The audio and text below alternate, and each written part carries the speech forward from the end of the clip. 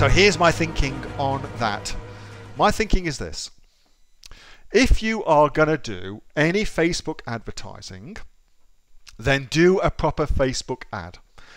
The only time it makes any sense at all, I think, to do a boosted post is if that post has had a lot of organic engagement and you just want to get more engagement for the post. Because for me, all paid marketing or paid advertising that you do ought to be with the sole intention of making sales for your Amazon business. That is the only reason you would pay for advertising because you want to get a return on your advertising investment.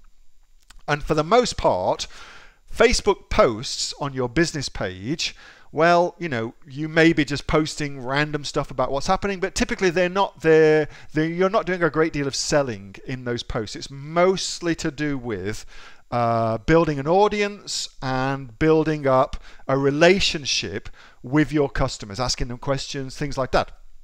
So you do all your selling in a Facebook advertisement and you do all of your relationship building in Facebook posts. So Therefore, it doesn't really make a lot of sense to use your Facebook posts for paid advertising. So if I just scroll down a tiny little bit here, you can see one here. So I've got one here. Well, you can see what I'm doing. Look, in, in my particular thing, this is for AOE.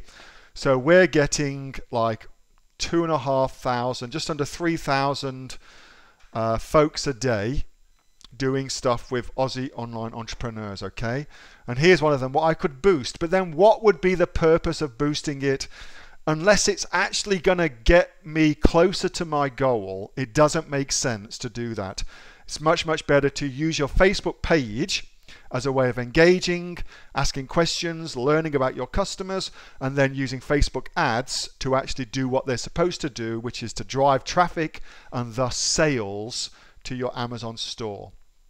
So, yeah. And there's also the thing as well that your Facebook posts, when you boost them, you don't get as much control over them. All you're going to be able to do is just to boost them to, you know, either a new market segment or something like that. It's much better to actually have more control over it, which the Facebook advertising area gives you. That's that's my take on that, Rowan. So whilst it looks cool, Facebook loves you boosting posts, of course, because that's more money for Facebook. So they will constantly harass the hell out of you to do that.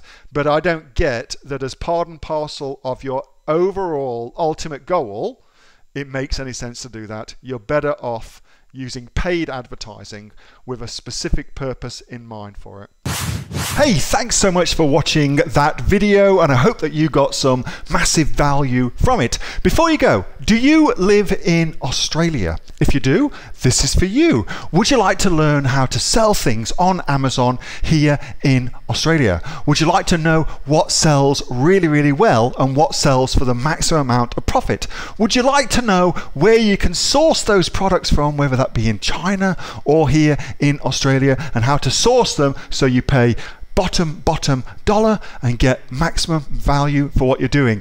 If you do, please subscribe to my channel and like this video and you'll learn that and much, much more. It's the exact same information that people like Jeff from New South Wales. I've used to make $45,000 a month on Amazon that Sue who's from the sunny coast has used to purchase herself a brand spankly BMW every single year as a result of her e-commerce business. And the lovely Kate from Bowral in New South Wales has used to make $32,000 a year on uh, sorry a month not a year a month on Amazon. And indeed Anthony who makes $15,000 a month on Amazon selling as he puts it odds and sods. If you'd like to learn the exact same inf information that they use to maximize their profits for their Amazon businesses, subscribe to this video, like my channel, um, post below if you want me to teach you something. Okay, I'm out of here. Speak to you soon. Bye. Subscribe. Subscribe. Do it now.